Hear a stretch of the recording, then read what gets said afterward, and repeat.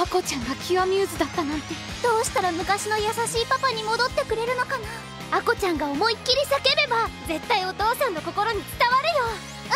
うん私が元の優しいパパに絶対戻してみせる。アコちゃんがキュアミューズだったなんて。スイートプリキュアキラキラ心に届けミューズの思いにゃ心にハーモニー。響かせよ。